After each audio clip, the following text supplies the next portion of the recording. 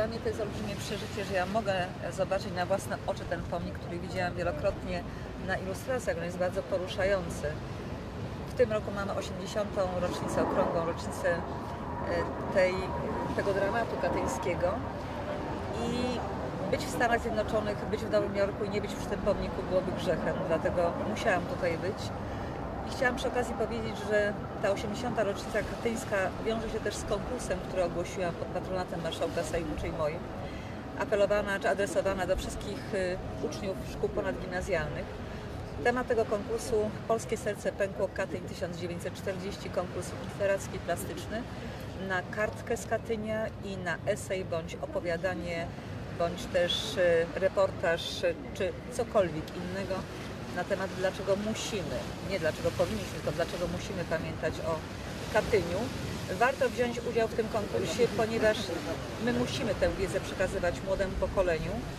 Y, Poczta Polska zgodziła się potem wydać taką kartkę razem ze znaczkiem, ona będzie w obiegu, a jednocześnie najlepsze prace będą publikowane. Poza tym chciałabym, żeby młodzież ta najlepsza mogła pojechać na jakąś listę studyjną do jednego z krajów europejskich. Miałam zaplanowane, ale ze względu na sytuację, no w tej chwili na razie tego wyjazdu nie będzie, poczekamy na y, lepszą okazję, może gdzieś w okolicach maja. Cenne nagrody i piękna gala 23 kwietnia w polskim parlamencie, więc apeluję do młodych ludzi, naprawdę warto, zmierzcie się z tym tematem, bo to jest wyjątkowy temat. Zobaczycie, jak można do końca być wiernym Polsce, jak można się nie poddać, nawet jak się dostaje cios w plecy. Jest się do końca Polakiem. Pani Marszałek, jest e, pierwszy potwierdzony polski przypadek e, koronawirusa. Czy w związku z tym planuje Pani kolejne posiedzenie Sejmu, jakieś może wysłuchania, jakieś działania Sejmu, które w skali globalnej, w skali kraju e, byłyby istotne w związku z walką z koronawirusem?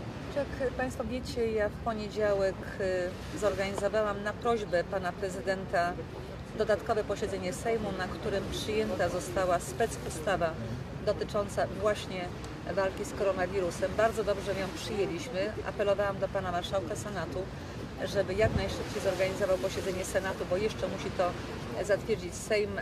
Jeśli będzie bez poprawek, to dobrze. Jeśli będą poprawki, to ja muszę zwołać kolejne posiedzenie. Chciałabym, żeby to było jak najszybciej, bo jeszcze Pan Prezydent musi to e, podpisać. To jest ważne. Ja chciałabym uspokoić i zaapelować o to, żebyśmy podeszli do sprawy poważnie, ale ze spokojem. To znaczy ja apelowałam o to, żeby słuchać komunikatów głównego inspektora sanitarnego. Tak też sama robię jako marszałek Sejmu, a także kancelaria Sejmu. Wiem, że dzisiaj było spotkanie z szefem, z głównym inspektorem mm, sanitarnym, który dał zalecenia. Tych zaleceń będziemy się trzymali, czyli na pewno wstrzymamy w tej chwili wycieczki do Sejmu i konferencje, bo tych konferencji w Sejmie jest naprawdę dużo. Natomiast nie widzę żadnych przeciwwskazań. W tej chwili nie ma takich zaleceń, żeby nie organizować e, posiedzeń e, Sejmu. No oczywiście te wyjazdy zagraniczne, grup bilateralnych i zespołów parlamentarnych też będą wstrzymane, bo to miała być ostatnio duża, chyba 40-osobowa grupa, która chciała jechać do Turcji. Prezydium Sejmu uznało, że no jednak to jest zbyt niebezpieczne. Także podejmujemy te środki, które zapobiegają, tak, które zapobiegają i słuchamy komunikatów głównego inspektora sanitarnego i do tego się będziemy stosowali. Zresztą z tego, co usłyszałam tutaj w Stanach Zjednoczonych, to polski przekaz, polskie komunikaty są naprawdę bardzo precyzyjne. Y, Ludzie mogą się dowiedzieć, jak zachowywać się, jak postępować w sytuacji, kiedy zobaczą, że coś złego się u nich dzieje, gdzie mogą zadzwonić, gdzie mogą się udać, czyli ta komunikacja jest.